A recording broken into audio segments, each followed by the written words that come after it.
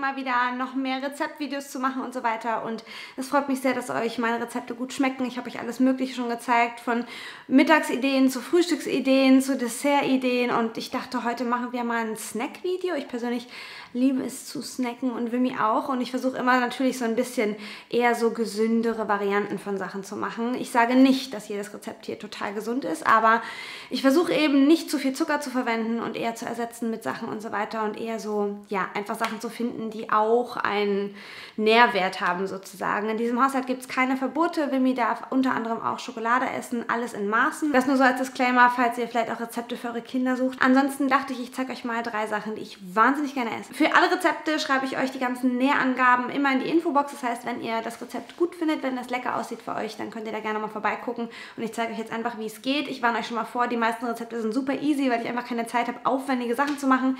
Das Aufwendigste sind, glaube ich, die Datteln, aber die sind es absolut wert. Und ich würde sagen, wir fangen gleich mal an mit Hafercookies.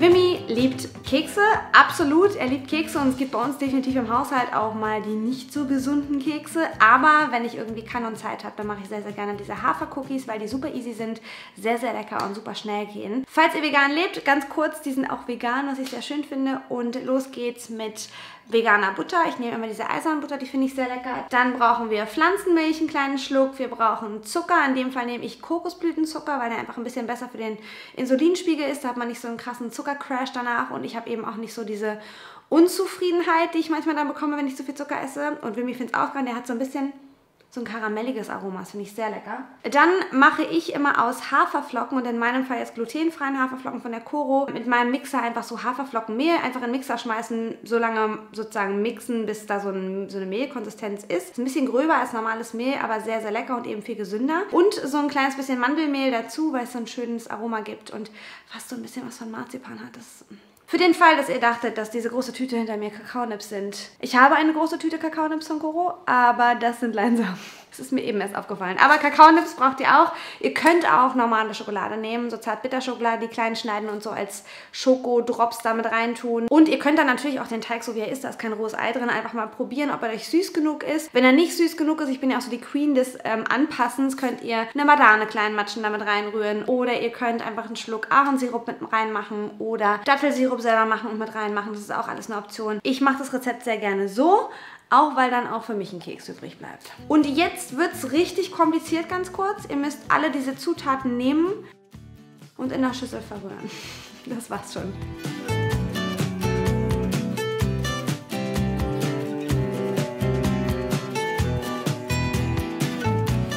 Ich sage ja, ich liebe einfache Sachen. Wenn ihr merkt, dass euer Teig zu fest ist, dann könnt ihr gerne einfach immer noch so ein bisschen mehr von eurer Pflanzenmilch reingeben ähm, und einfach gucken, dass die Konsistenz mehr so teigig wird. Es darf aber auch nicht zu flüssig werden, sonst wird es schwierig mit den Cookies, sonst verlaufen die euch so.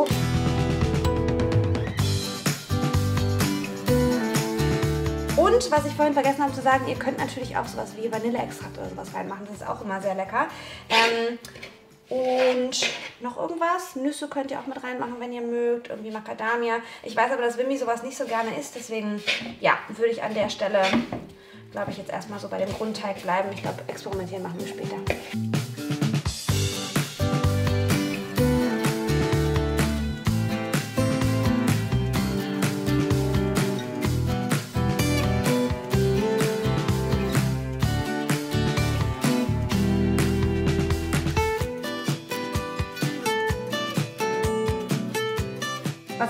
Rezept auch richtig, richtig cool finde, ist, dass wenn ihr zu viel Teig habt, das heißt, ihr habt ein Blech gemacht und sagt, das reicht eigentlich auch für uns, könnt ihr die Kügelchen auch einfach formen und dann einfrieren. Und immer wenn ihr Bock auf einen Keks habt, holt ihr euch ein Kügelchen raus, macht das platt im Ofen und dann habt ihr einen Cookie. Das finde ich sehr geil. Gerade so griffbereit frische Kekse ist halt einfach der Knaller. Und ich drücke das dann so ein bisschen platt, dass es auch so eine Cookie-Form bekommt und dann wird das bei 180 Grad für, ich würde sagen, 20 Minuten gebacken. Haltet euch nicht zu fest dran, jeder Ofen ist anders und ich bin halt irgendwie auch gerne jemand, der einfach darauf achtet, ob es gut riecht und gut aussieht. Wenn das der Fall ist, sind sie fertig und ihr könnt sie rausholen. So sehen sie aus und jetzt könnt ihr sie einfach vom Blech lösen. Das sollte ganz easy peasy gehen und auf einen Teller tun und abkühlen lassen. Und sobald sie ausgekühlt sind, sind sie auch ein bisschen fester, können euch nicht mehr auseinanderfallen und sind mega, mega lecker. So, ich muss jetzt eben schon mal abbeißen, Entschuldigung. Wenn die so ein kleines bisschen abgekühlt sind, auf jeden Fall, wenn ihr könnt, noch warm essen. Die sind innen dann noch so ein bisschen weicher, aber nicht roh und einfach das, allein wie die duften, das ist... Mm. Mm. Unbedingt ausprobieren bitte, Freunde. Das ist so lecker.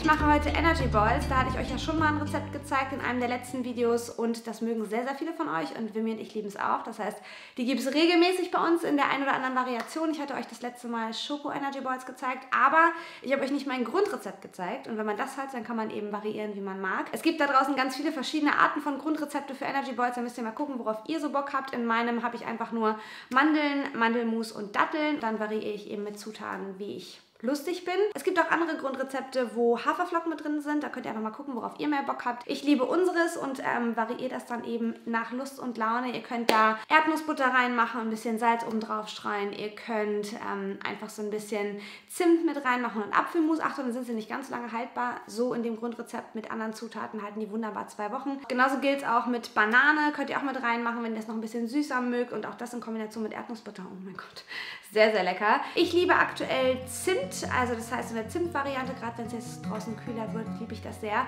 und mache das auch sehr gerne für uns. Deswegen mache ich in meinem Grundrezept Mandeln, Datteln, Mandelmus, einfach gerne noch so ein bisschen Cashewmus, um es noch ein bisschen cremiger zu machen und Zimt logisch. Und das ist sehr lecker und geht super schnell. Alles, was ihr braucht, sind die Zutaten und eine Art von Mixer. Ich weiß, dass ein paar von euch das auch mit einem Stabmixer gemacht haben. Dann würde ich allerdings überlegen, nicht ganze Mandeln zu nehmen, sondern einfach so ein, so ein schon, wie heißt das, blanchierte Mandel? Nee, diese, wie heißt denn das? Hirn? Bist du da? Diese, ich will mal sagen, pürierte Mandeln. Das ist totaler Quatsch. Gemahlene Mandeln. In dem Fall könnt ihr auch gemahlene Mandeln nehmen. Dann ist es ein bisschen einfacher. Wenn ihr das nicht braucht, äh, weil ihr einen guten Mixer habt, dann schmeißt ihr das einfach alles zusammen, habt eine Masse und macht daraus Bällchen und das war's schon. Wimmy hilft mir wahnsinnig gern dabei. Ähm, wir machen für ihn immer so ein bisschen kleinere Bällchen, dass es besser bei ihm im Mund passt und bei mir ein bisschen größere Bällchen. Ihr könnt die auch füllen noch, wenn ihr Bock habt, irgendwie noch Nussmus da reinzumachen oder eine extra Nuss damit reinzumachen oder ein bisschen ähm, Agavendicksaft oder Honig da in die Mitte zu machen, weil ihr noch so ein bisschen was Weiches haben wollt. Auch das ist sehr, sehr lecker. Das finde ich irgendwie auch immer ganz schön, dass man nicht so fest an ein Rezept gebunden ist, sondern einfach gucken kann, worauf habe ich einen Bock. Welche Süßigkeiten mochte ich früher zum Beispiel auch gerne. Wenn man so Bounty-Bock hat, dann kann man einfach Kokosraspeln mit in die Mixtur tun und einfach so ein bisschen äh, Kakao mit drüber. Das ist, glaube ich, auch sehr lecker. Also guckt einfach mal, worauf ihr Lust habt und probiert es aus. Ich zeige euch heute nochmal die Zimt-Variante mit dem Grundrezept. Alle Rezepte übrigens sind in der Infobox, genauso wie auch der Code für Koro. Denn meine Nuss, Nusse, meine Nüsse und Nussmusis habe ich alle von der Koro und bestelle dort auch immer, weil ich einen riesen krassen Verbrauch habe oder wir in dem Fall. Und äh, genau, da gibt es ein bisschen Rabatt, wenn ihr Lust habt und das mal ausprobieren wollt. Ich zeige euch jetzt erstmal das Grundrezept. So, es ist tatsächlich so einfach, wie es klingt. Einfach alles in den Mixer fertig. Wie gesagt, wir fangen an mit 250 Gramm Datteln.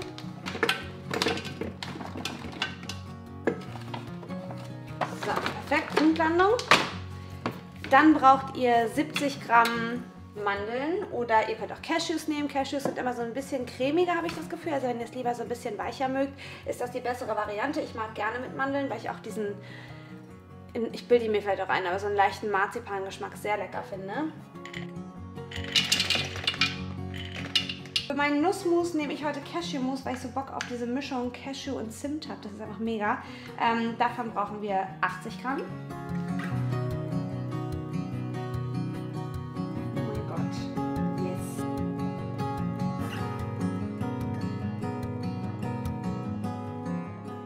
Für meine Würzung heute mache ich da eine ganze Menge Zimt rein, einfach weil ich das sehr, sehr lecker finde und Wimmy tatsächlich auch sehr liebt. Und weil ich das auch sehr schön finde, so ein bisschen Vanillepaste, Vanilleextrakt, was immer ihr mögt. Ihr könnt auch eine Vanilleschote da reinschneiden. Auf jeden Fall ist die Mischung Cashew, Vanille, Zimt großes Kino.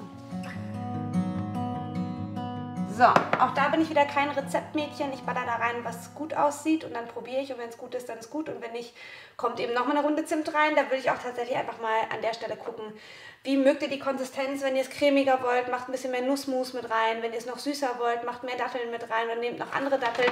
Ich nehme jetzt hier so ganz schlichte Datteln sozusagen von der Koro. Es gibt aber auch diese mit datteln mit denen machen wir gleich auch noch was.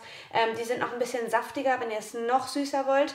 Ähm, und auch bei den Nüssen könnt ihr einfach variieren, was ihr wollt, worauf ihr Bock habt. Ihr könnt auch äh, Walnüsse nehmen für eure Nüsse, falls ihr es ein bisschen bitterer mögt. Also da sind einfach der Fantasie keine Grenzen gesetzt. Ähm, und jetzt kommt noch meine Vanillepaste da rein. Und dann, Freunde, wird hier mixt. So.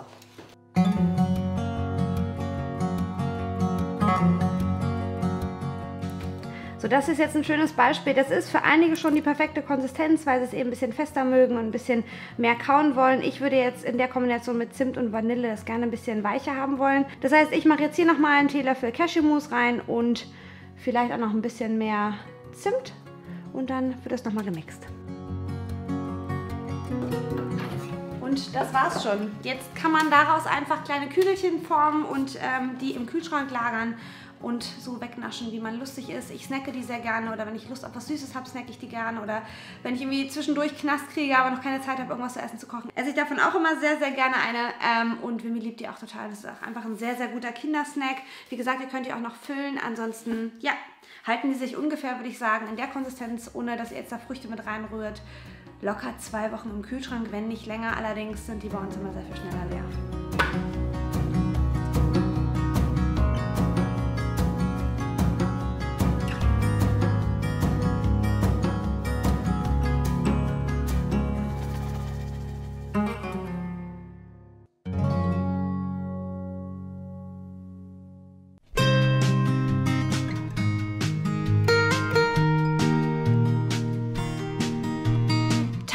Und auch Snack 3. So war es ursprünglich nicht geplant, aber vielleicht heißt das Video jetzt drei Tage, drei Snacks, keine Ahnung. Wir machen jetzt gefüllte Datteln. Freunde, ich weiß, es klingt erstmal nicht so geil, aber das ist so lecker, dass ich echt geflasht war, weil ich irgendwie dachte, scheiße, ich habe nur so viele Datteln, was mache ich damit? Und habe da einfach Nussmus reingemacht und die mit Schokolade überzogen. Und das ist einfach der Oberhammer. Auch da könnt ihr wieder variieren, wie ihr mögt. Das Wichtigste finde ich, dass ihr ordentliche Datteln besorgt. Also richtig schöne große leckere Datteln. Ich habe jetzt hier bei der Koro diese Medjool-Datteln bestellt. Die sind so riesengroß, die muss ich noch anschneiden, aber die sind so richtig schön saftig und eignen sich perfekt dafür. Und dann könnt ihr überlegen, mit welchem Nussmus ihr das Ganze füllen wollt. Das letzte Mal habe ich das mit einem Erdnussmus gefüllt. Da habe ich gleich Spuck im Mund, habt ihr gesehen? Mit einem Erdnussmus gefüllt und Schokolade drum. Dieses Mal probiere ich es mit Haselnussmus, was so ein bisschen was von einer Art Nutella hat. Sehr lecker. Und Pistazienmus, weil ich mich das erste Mal jetzt überwunden habe, Pistazienmus zu bestellen, weil es einfach schon ein bisschen preisintensiver ist, aber geschmacklich. Ich könnte das löffeln. Ich könnte das einfach löffeln. Die beiden Varianten habe ich bis jetzt noch nicht ausprobiert, das heißt, ihr seid live dabei. Und werde jetzt allererst mal die Datteln entsteinen und dann sehen wir weiter.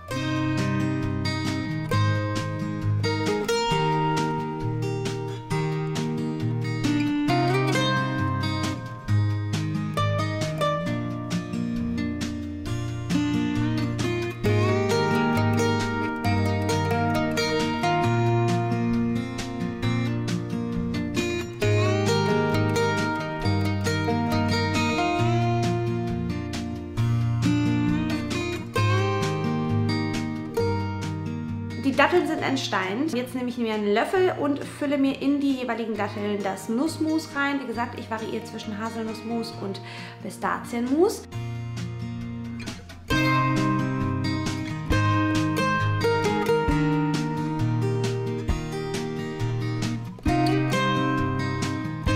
Das dauert einen kleinen Moment, aber das ist es absolut wert.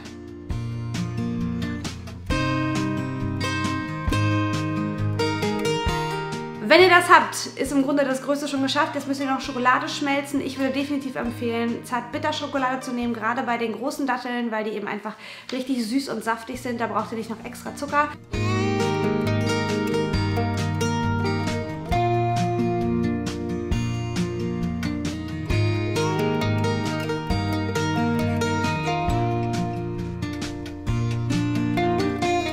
Und dann müsst ihr die Datteln im Grunde nur noch damit ein bisschen übergießen lassen und tata!